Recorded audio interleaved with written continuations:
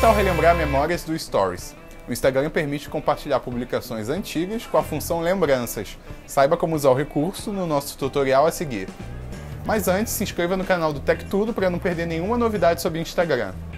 Abra o aplicativo do Instagram e acesse o seu perfil. Depois, vá até os itens arquivados. Na tela aparecerá a janela Lembranças, que indica publicações que fizeram mais de um ano naquele dia. A opção Compartilhar permite postar o conteúdo no Stories. Um adesivo de lembranças indica que aquela publicação é antiga. Para postar a história, é só pressionar o botão Seu Story. E aí, o que achou da ferramenta? Para saber mais sobre Instagram, só fica de olho aqui no Tech Tudo.